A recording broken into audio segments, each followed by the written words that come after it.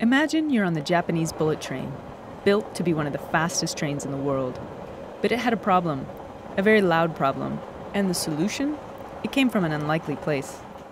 The story went like this The bullet train could reach speeds of almost 200 miles per hour, but when it rushed into a tunnel, air pressure would build in the narrow space, causing a large boom when exiting. The tunnel boom was so loud and Japanese noise standards so strict that the problem threatened to stop the bullet in its tracks, if it weren't for a bird. An engineer was tasked to solve the problem. How could the train travel smoothly through a tunnel with minimal turbulence? The answer? A kingfisher. A kingfisher moves from low resistance air to high resistance water without making a splash. The engineer modeled the front of the train on the kingfisher's beak, solving the tunnel boom problem while increasing the energy efficiency of the bullet train. The kingfisher and the bullet train is an example of biomimicry. Bio, meaning life, and mimicry, the action of imitating something. Some people refer to it as following nature's blueprint for invention.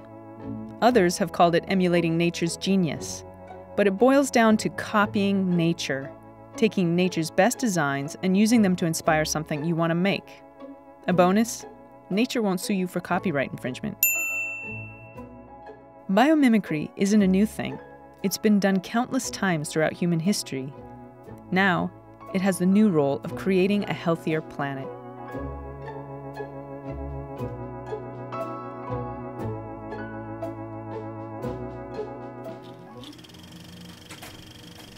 To explain, let's begin with the development of human flight.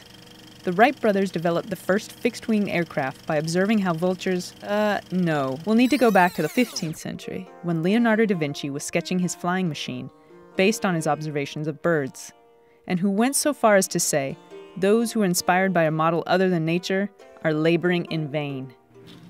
Back to the Wright brothers, who several centuries later found inspiration by observing how turkey vultures soar the wings of the first airplane, the Kitty Hawk, used vulture wings as a model.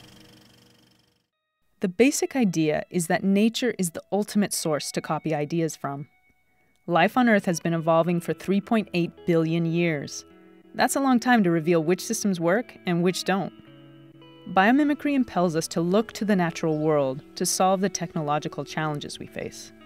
Chances are, nature has already arrived at an elegant solution. You know, we are a young species on this planet. We've only been here a very, very short period of time 200,000 years for Homo sapiens sapiens compared to 3.8 billion.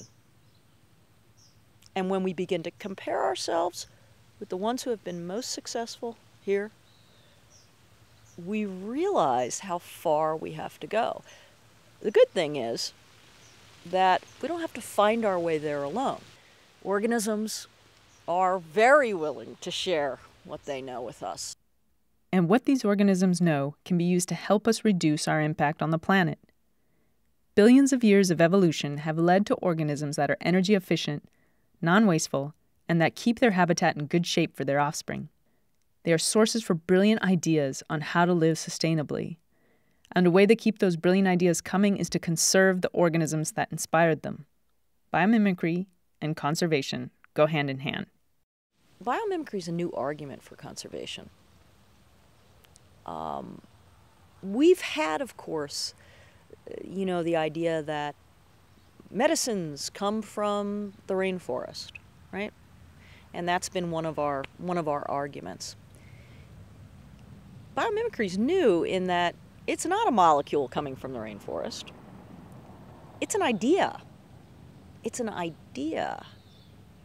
Now, that's that's fascinating. I think that biomimicry really widens um, the the number of people that uh, conservation relates to. For for some people, they need a reason that's different than a crisis. That's different than uh, a moral obligation. Um, some people need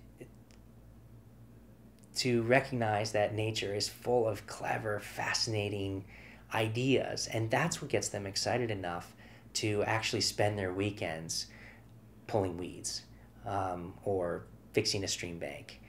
Organizations like the Biomimicry Institute have been created to educate everyone from kids to professionals, people who are interested in the use of biomimicry and its connection to conservation. For the last, what, 40 years, the way we've been doing environmental education is to tell young people that we're in a crisis. And that's pretty much where that education has ended. We haven't given them any solutions. And that's got to be pretty disheartening for young people. Um, what I like about biomimicry is that it doesn't focus on the crisis. It moves from there. It says, okay, we all understand that. We understand that improvements need to be made and that they can be made, but how do we make them and where do we look for our, ideas? In addition to promoting biomimicry as a new reason to conserve the natural world, the Biomimicry Institute is also using it as a tool to generate funds for conservation efforts through their Innovation for Conservation program. Innovation for Conservation is a program of the Biomimicry Institute.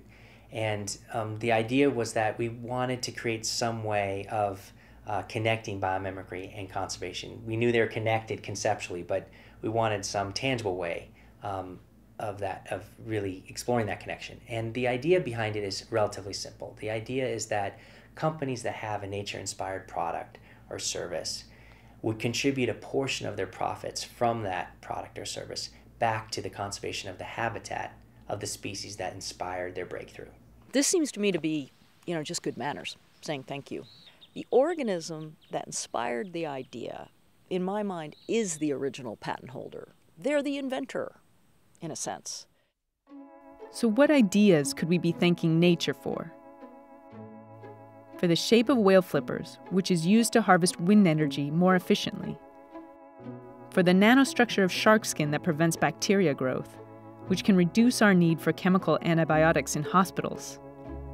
And for coral reefs that grow by sequestering carbon dioxide, which can be mimicked to manufacture concrete if biologists come to the design table, together with engineers, architects, and inventors, they can help the people who make our world look to nature for lessons in sustainability. If I could have a magic wand, every sustainable inventor that I know, I would have a biologist by every single one of them, shoulder to shoulder. And when they say, you know, I, gosh, I, I, I need, I, I need something that, you know, I'm going to redesign uh, a train shape, a car shape, um, to try to reduce the energy use. That that biologist says, "Come to the aquarium with me. Come to the aviary with me. We're going to look at how organisms have solved the problem you're trying to solve." The possibilities seem limited only by our creativity and our ability to pay attention to the natural world around us, a world that we now have new reason to conserve. If nature is teacher, that makes us student. If nature is mentor, that puts us in a, in a respect relationship to that mentor. And that ultimately is what will change people's behavior.